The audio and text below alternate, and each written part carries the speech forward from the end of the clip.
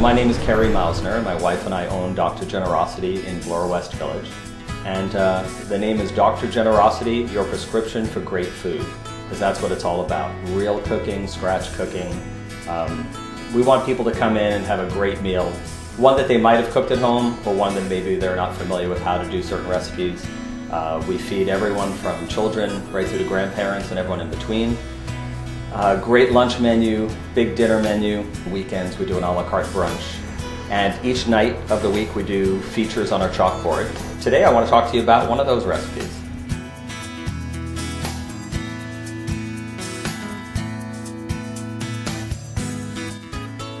Dr. Generosity challenges you to make our famous big beer braised beef ribs with maple barbecue glaze. Take all the pots and pans, get them in the dish machine, and clean them in just one cycle with Electrasol.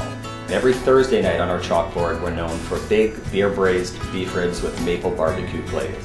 So you get the big honkin' beef ribs, cut them up so they're individuals, put them into a big roasting pan, cover them with beef consomme or good beef stock if you have it, some tomato puree, onions, garlic, maple syrup, brown sugar, salt, pepper, cover it with tin foil, pop it in the oven, let it cook for about three and a half hours, between 350, 400 degrees. Take it out, pull the foil off, get a good whiff of the aroma, you're gonna love it. Pull the beef ribs out, let them cool. Take all of your ingredients and strain them. Put them in a pot, let them simmer away until they thicken up, make a glaze. And you put the beef ribs on the barbecue, glaze them up, you're gonna love it.